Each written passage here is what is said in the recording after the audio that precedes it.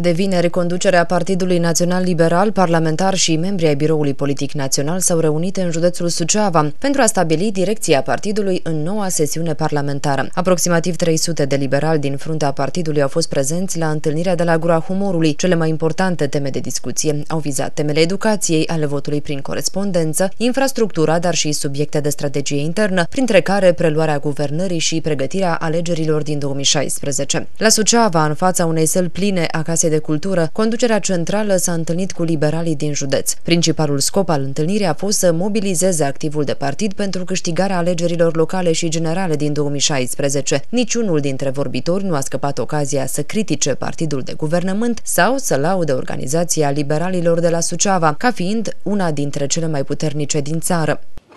Astăzi de la Bucovina, din Suceava, domnule, România arată bine, și nu pentru că aveți autostrăzi și pentru că aveți un nivel de trai mult peste restul României, ci pentru că aveți bun simț, pentru că sunteți niște oameni politicoși, niște oameni cinstiți, niște oameni cu principii și de aia o să ne meargă bine dacă luăm modelul ăsta de bune practici de la dumneavoastră. Dacă mai e cineva care crede că poate să mai vorbească despre altceva decât despre Partidul Național Liberal, știți unde îl invit, nu? Afară. Afară din sala asta, pentru că aici văd oameni dedicați acestui proiect. Am avut întâlnirea cu primarii din județul dumneavoastră.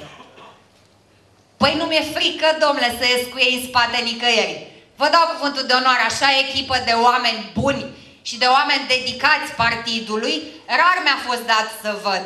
Mergeți în spatele lor, găsiți-vă restul de candidați pentru localitățile unde nu avem încă șansa întâi. Dați-vă șansa unui guvern local liberal, unei administrații locale liberale din nou. Ce a făcut PSD-ul în Suceava am întrebat și eu pe stradă. Mi-au zis 2, 3, 5, 7 cu care m-am văzut că n-a fost nicio Brânză, da, mulțumesc. Și nu va fi nicio brânză, cu nici guvernul lui Ponta nu înseamnă nimic. Mai mult, Alina Gorghiu le-a cerut liberalilor suceveni să exporte exemple de bune practici în politică și câștigarea alegerilor, arătându-și convingerea că la Suceava PNL va ieși învingător la localele de anul viitor. Despre forța organizației de la Suceava a vorbit și prim vicepreședintele PNL Mihai Voicu. Cheia alegerilor prezidențiale este cine câștigă județele Suceava, Prahova și Constanța. Ei bine, la alegerile prezidențiale am câștigat și Suceava și Prahova și Constanța. Însă pentru că nu suntem nici în Prahova, nici în Constanța aici, mulțumirile mele din inimă sunt către dumneavoastră. Către acest județ pe care mulți au greșit, tendința să-l califice ca fiind un județ roșu. Nu este. Liderii liberali au vorbit la unison despre unitatea din partid și din filiala de la Suceava. Astăzi suntem împreună și trebuie să învățăm cu toții să conviețuim, să ne înțelegem și să luptăm nu în interiorul partidului, ci în afara lui cu PSD.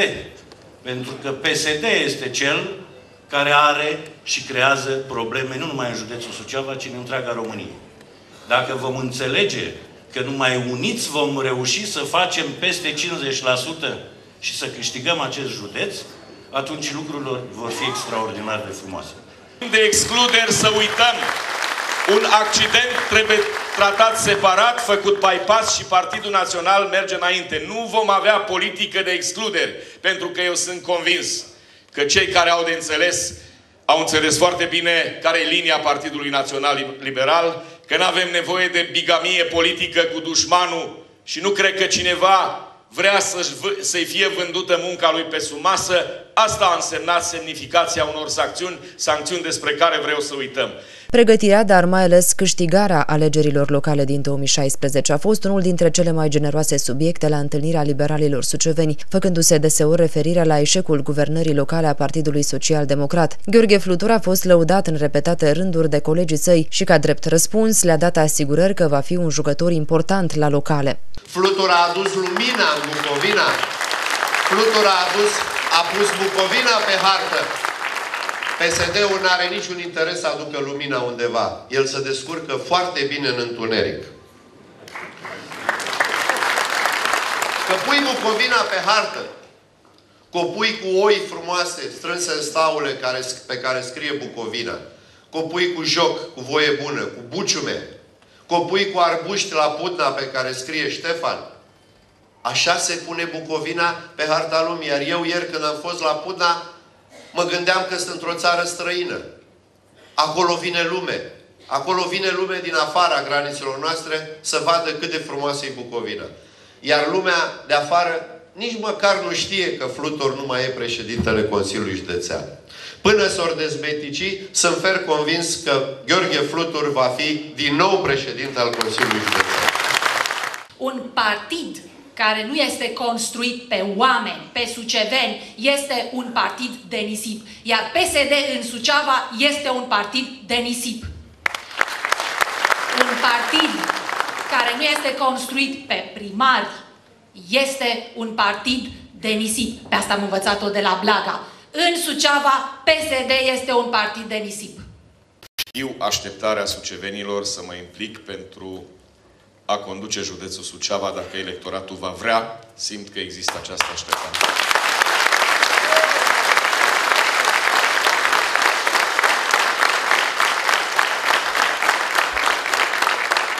Știu să-mi asum răspundere, am făcut-o de fiecare dată, sunt conștient că nu e ușor, dar în momente grele trebuie să te implici. De data aceasta, dragi colegi, dau ăsta are o semnificație mai profundă. Pentru că așteptările sunt uriașe. Am fost într-o zi în Carrefour și erau niște oameni cu cărucioarele, veneau la mine și mă întrebau când vii. Am înțeles așteptările. Însă votul indirect pentru președinte schimbă puțin lucrurile și vreau să fiu sincer până la capăt și realist cu voi. Adică de data asta cred că pilonii de bază vor trebui să fie primarii și președintele Consiliului Județean ales indirect trebuie să fie coordonatorul. Oameni ca Flutur și Bălan, ca Băieșanu, puteți face mult mai mult. Ce pot eu să vă promit azi este că bătăliile dumneavoastră vor fi și bătăliile mele. Voi fi prezent în campanie aici, alături de candidații dumneavoastră. Și eu sunt convins că în sală avem și viitorul președinte al Consiliului Județean și viitorul primar al Sucevei.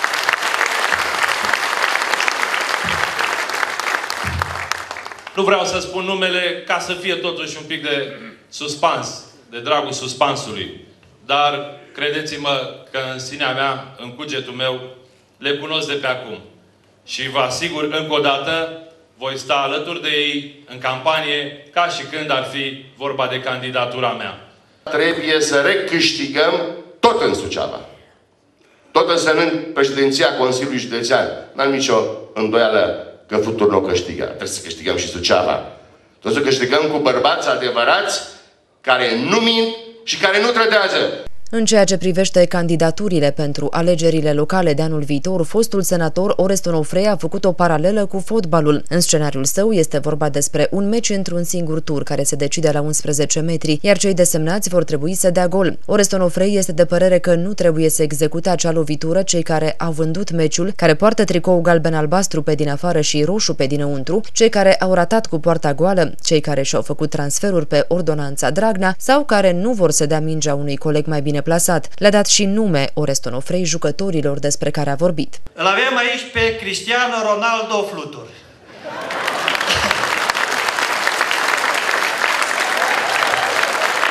care poate să câștige meci. Îl avem pe Lionel Messi Bălan, de la Suceava. Îl avem pe Sanchez, cel care l-a mușcat de ureche pe Oreste Celini. Noi, Ursaciuc.